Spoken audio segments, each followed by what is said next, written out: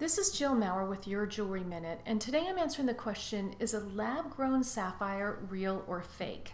And this is kind of a tricky question. A lab grown sapphire, sometimes called a lab created sapphire or a synthetic sapphire, but these can involve some different processes, is a way of creating a sapphire. And when you do it, it does create corundum, which is what a sapphire is made from.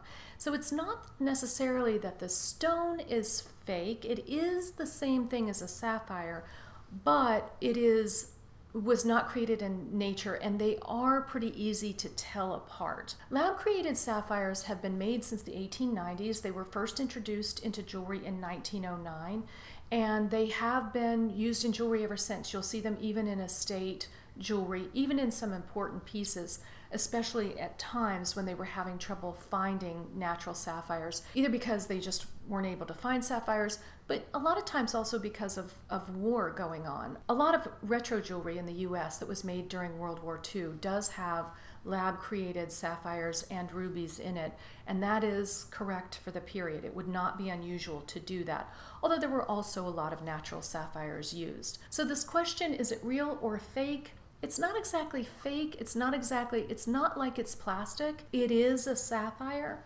It was just man-made. And you can tell that they're man-made because they are perfect. They're, they're actually too perfect. They, they're too perfect to have come out of the ground. And sometimes you can't, they can be hard to tell by the naked eye, but we can easily tell with machinery. I know that wasn't exactly a clear answer. I think if you really had to say, you'd say yes, a lab created sapphire or a lab grown sapphire is a real sapphire. It is a real sapphire, but it's not as desirable as one that comes out of the ground. So, and it is therefore not as expensive. This has been your Jewelry Minute. If you have a jewelry question for me, just ask me in the comments below.